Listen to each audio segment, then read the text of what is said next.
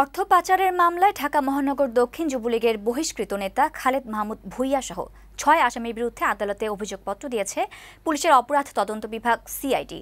রোববার ঢাকা মহানগর দায়রা জজ আদালতে এই অভিযোগপত্র দেওয়া হয়েছে বলে নিশ্চিত করেছেন সিআইডির মুখপাত্র ফারুক হোসেন। গুলশান থানায় করা মানি লন্ডারিং মামলার অভিযোগপত্রে আসামিদের বিরুদ্ধে ক্যাসিনো ও মাদক ব্যবসা, চাঁদাবাজি এবং টেন্ডারবাজির প্রমাণ পাওয়ার কথা উল্লেখ করা হয়। গত বছরের আঠারো সেপ্টেম্বর রাতে গুলচানের বাসা থেকে খালেদ মাহমুদকে গ্রেফতার করে র্যাব।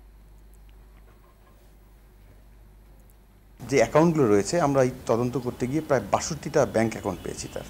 এবং এই বাষট্টিটা ব্যাংক অ্যাকাউন্ট থেকে কিন্তু শত শত কোটি টাকার ট্রানজ্যাকশন সেখানে রয়েছে এবং বাই দিস টাইম যেটা উনচল্লিশ কোটি টাকার মতো তার অ্যাকাউন্টে, যেটা আমরা আমরা ফ্রিজ করে রেখেছি।